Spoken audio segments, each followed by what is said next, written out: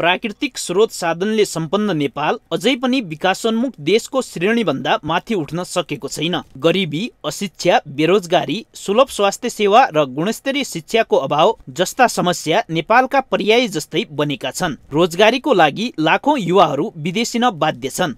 यो अवस्थामा सुधार ल्याई विकास र समृद्धि स्थापित गर्ने लामो समयदेखिको सपना हो। यसकै लागि देशमा थुप्रै राजनीतिक परिवर्तनहरू भए तर विकास र समृद्धिको सपना झन्झन टाढिँदै गएको छ। विकास र समृद्धिको यात्रामा नेपाल किन पछाडि छ?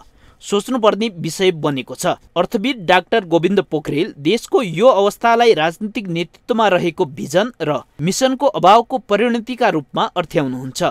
बहुआयनिक भिजन भएको नेतृत्व हामीले पाउन सकेनौँ। नारा मात्रै पायौँ योजना पाउन सकेनौँ त्यो योजना कार्यान्वयन गर्ने संरचना र जनशक्तिको क्षमता अभिवृद्धि गर्ने भिजन भएको आइडिया भएको परिचालन गर्ने संयन्त्रहरू निर्माण गर्ने स्रोतको परिचालन गर्ने राजनीतिक आयामहरूलाई व्यवस्थापन गर्न सक्ने नेतृत्व नपाएको हुनाले फेरि पनि हामी अस्थिरताको घुमेरीमा गएका छौँ। हामी फड्को मार्न सक्ने अवस्था अहिलेको राजनीतिक नेतृत्व अहिलेको राजनीतिक विचारले हामी चाहिँ अगाडि बढ्न सक्दैनौँ।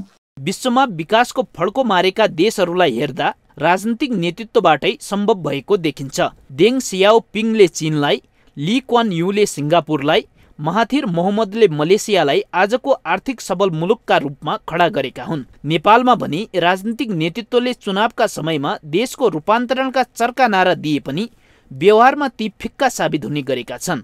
हाम्रा देशका अगुवाहरू चाहे त्यो राजनीतिमा होस् चाहे सामाजिक क्षेत्रमा होस् अथवा नागरिक क्षेत्रमा होस्। यी अगुवाहरू देशका लागि काम गरिदिएन। देशका लागि काम नगरिदिएपछि देश समृद्ध हुने होइन। उनले परिवारका लागि काम गरे परिवार समृद्ध भयो। आफ्नो लागि काम गरे आफू समृद्ध भयो। देशका लागि काम गरिदिएको भए देश समृद्ध हुन्थ्यो। यदि इमान्दारीपूर्वक काम गर्ने हो भने हाम्रो मुलुक पाँच वर्षमा आफ्नै खुट्टामा उग्न सक्ने समृद्ध र सुन्दर देश बन्न सक्छ।